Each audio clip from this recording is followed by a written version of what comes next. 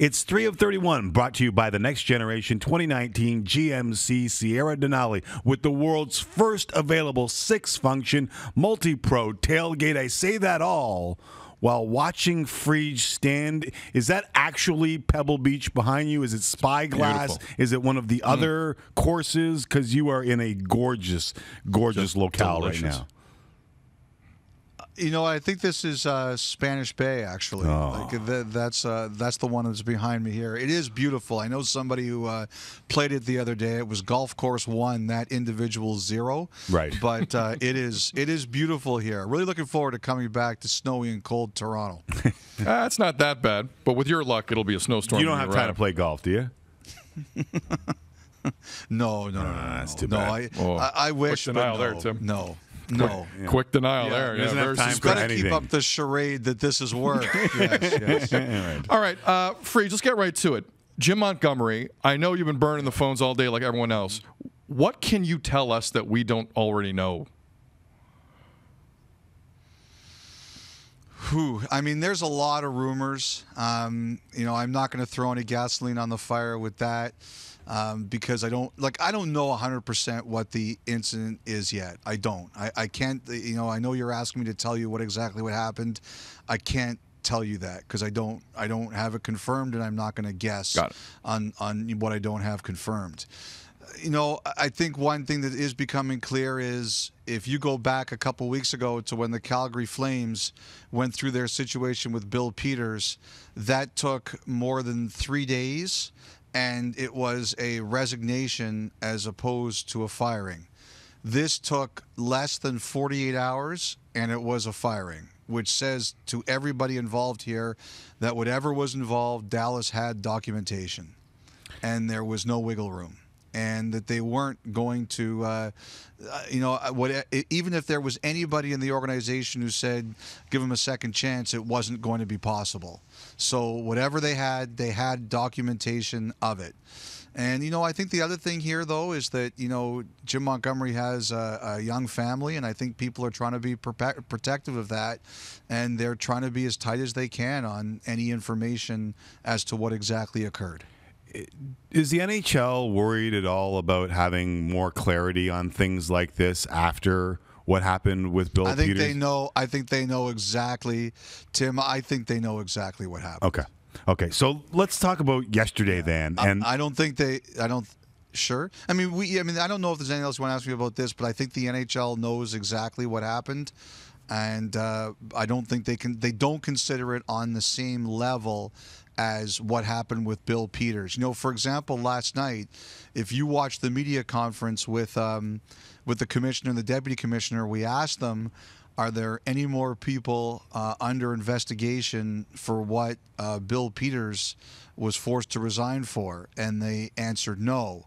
And somebody actually did say to me today, if I'd asked that question, just if there was anyone under investigation, the answer might have been different. So they don't Right. consider it the same thing. Right. That's why I asked you the question because I heard you ask the question of Gary Bettman and get the no answer, and I wondered if there's any clarity there, and you have provided that. What was the feeling among hockey people uh, about what Gary Bettman delivered last night? Were they surprised at how much teeth it had? Were they surprised how quickly or how long it took? What What did you get? What was the feeling when people walked out of that room? Well, for one thing, Tim, the statement he read to the media and to the public, he also read it in the room. Uh, there was so basically what he told us, he told them. I think everybody knew it was coming. They expected it to come. Uh, they were not surprised. I think they support it. You know, in his address to the media and the fans, the commissioner said, We don't like surprises. I- I don't think that message was really for the media or the fans. I think that message was to the teams. And, you know, if you look at this Dallas situation today, the league was well aware of, of obviously what was going on before it became public. And and that is that the days of teams handling things themselves. You know, for example, we talked to Brendan Shanahan today about Mike Babcock and and Mitch Marner and the and the thing that happened there with Babcock and Marner. And you know, he said at the time, you know, it was dealt with between Shanahan, Lou Lamoriello, the coach, the player. I think they, the agent. I think they even mentioned. I can't remember if they mentioned the family or not.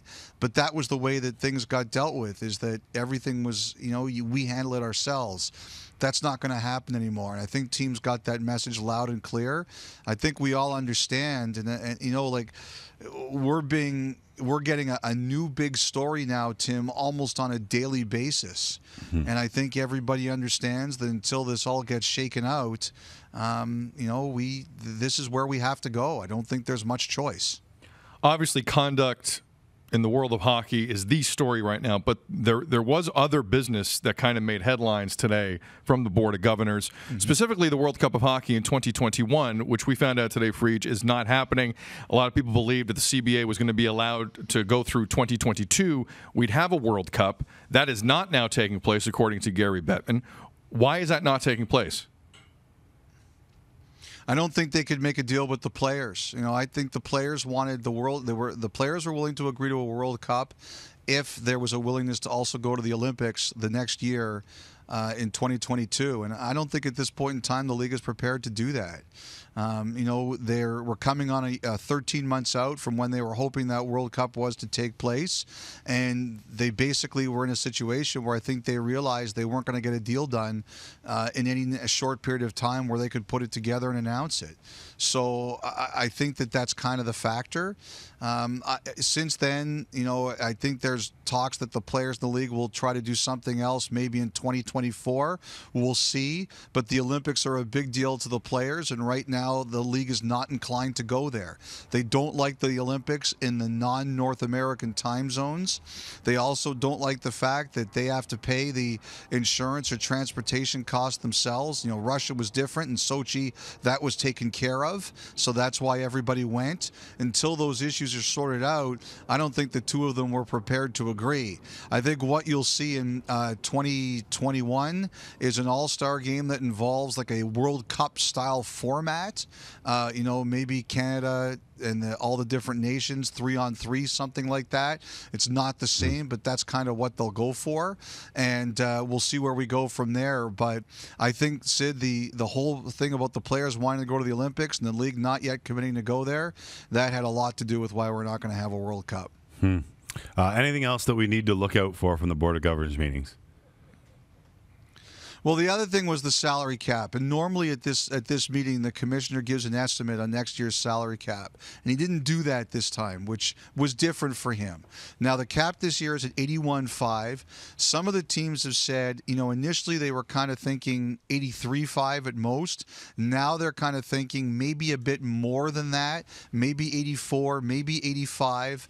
Uh, and the reason is that, and the commissioner was careful to say this will happen in negotiation with the players to keep this really simple. Once the original number is set, the players have the right to lift it up to an extra 5%. They used to go to that 5% all the time.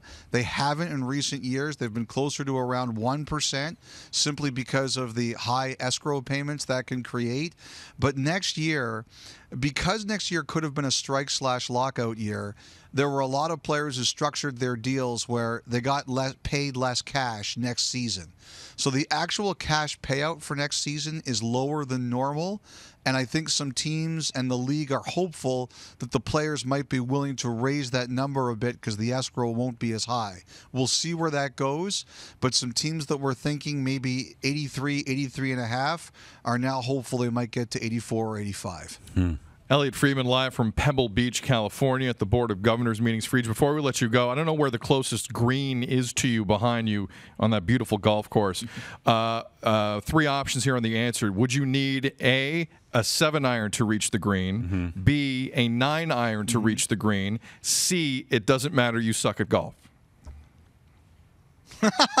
Actually, it would be D, none of the above, because I'm actually closest to the tee box. Oh, and I if I was pulling out a, uh, uh, if I was hitting from here, A, it would be one of the worst drives of my life, and B, it would be a lot more than a seven iron, because I think this is a par five. It's pretty long hole. Has anyone teed off while you're standing there? Because that might be nerve wracking. Yes. Does someone has? Yeah. You know, I How gotta tell good are you?